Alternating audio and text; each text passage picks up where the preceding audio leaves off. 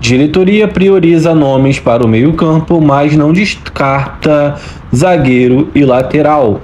Depois de confirmar as contratações do goleiro Agustin Rossi e do atacante Luiz Araújo, o Flamengo segue no mercado da bola em busca de reforços. O time rubro-negro mira pelo menos dois jogadores para o restante da temporada. Neste momento, o foco está voltado para o meio-campo.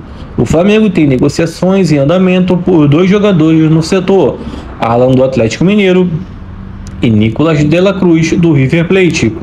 O Flamengo, através do representante de De La Cruz, enviou oferta ao River Plate. O clube tem acordo encaminhado com o jogador e espera uma resposta do time argentino.